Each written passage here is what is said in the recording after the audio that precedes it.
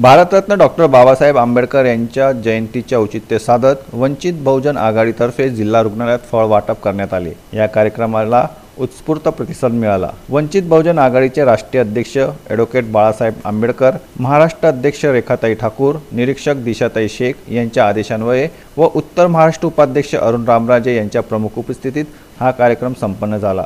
यावेळी वंचित बहुजन आघाडीच्या महासचिव उद्धव पिंपळे डॉक्टर बाबासाहेब आंबेडकर उत्सव समितीचे अध्यक्ष कथ्थू बिल महिला आघाडी अध्यक्ष पुष्पाताई वानखेडे संगीता पानपाटील जिल्हा उपाध्यक्ष संजय पाटील राजेश मेटकर आरिफ पठाण तळोदा तालुका अध्यक्ष विशाल सामुद्रे नंदुरबार तालुका अध्यक्ष आप्पा बैसाने शहादा तालुका अध्यक्ष गजेंद्र निकम तसेच जिल्हा रुग्णालयाचे doctor K D Satpute doctor Anil Gavit doctor Rohan Thorat आदी उपस्थित होते.